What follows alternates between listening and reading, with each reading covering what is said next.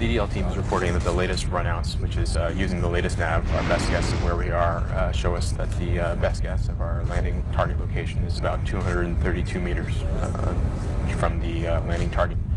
Um, so, looking good so far. We're continuing to receive heartbeat tones. Everything looks good. Flight to the MX EDL phase. Go ahead, phase. 30 seconds to entry. As we come up on entry, uh, we'll expect a 2 to 3 second outage in the X-band signal as we switch from the PLGA to the TLGA.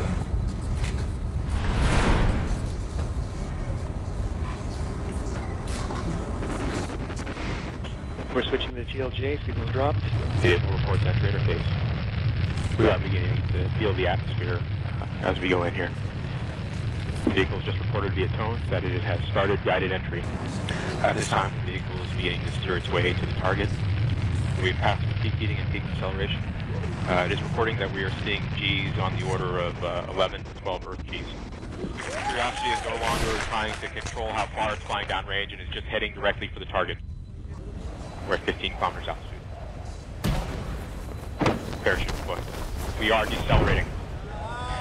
Ritz mode under kilometers parachute are 20, descending. 30 We're at 150 meters per second.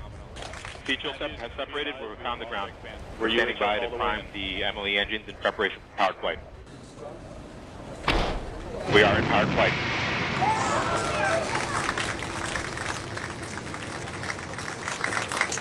We're at altitude of one kilometer descending, about 70 meters per second.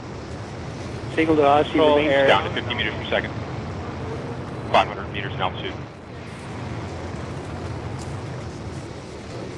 Standing by for Sky Crane. Constant velocity accordion nominal. Altitude error 5.9 meters. We found a nice flat place. We're coming in ready for Sky Crane.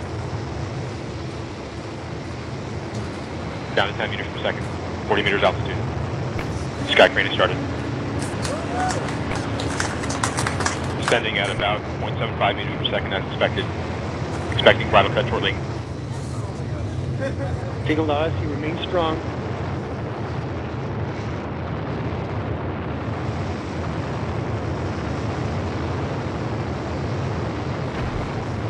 Tango Delta nominal.